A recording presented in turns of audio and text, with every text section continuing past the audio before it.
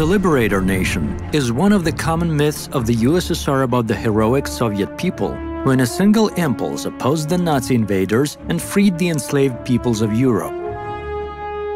The myth was created in Brezhnev times and cultivated to justify the Soviet presence in European countries during and after the war.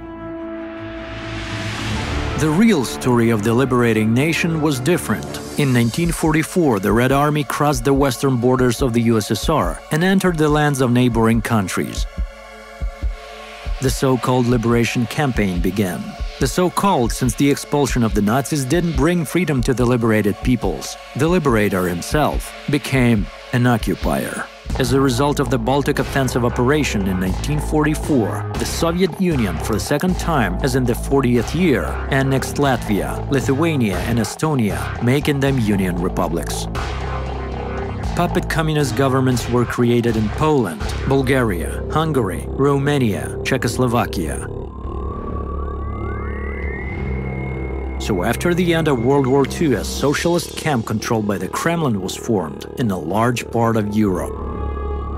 The true attitude towards the liberators is evidenced by the uprisings that periodically flared up in these countries. Soviet resistance was suppressed by weapons and tanks.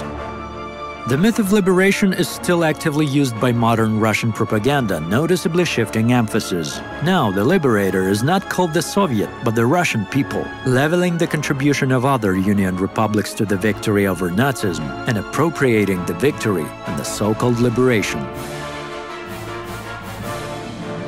At the same time, European states give a clear definition of the Kremlin's post-war actions.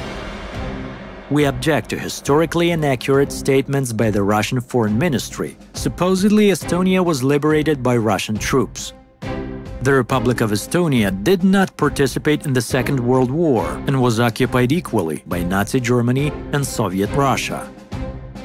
The so-called liberation was an occupation that lasted about 50 years a statement from the Estonian Ministry of Foreign Affairs. Similar statements were made by other liberated states. Liberation in the USSR was also covered by numerous war crimes. The stunning statistics of robberies, rapes, and murders committed by Red Army soldiers during the exile of the Nazis contradict the myth of victorious and disinterested defenders of the liberators. Remember, the Stalinist regime used the victory over Nazi Germany to establish its control and occupation of a number of European states. The final liberation of Europe from the totalitarian regime came only after the collapse of communism and the collapse of the Soviet Union.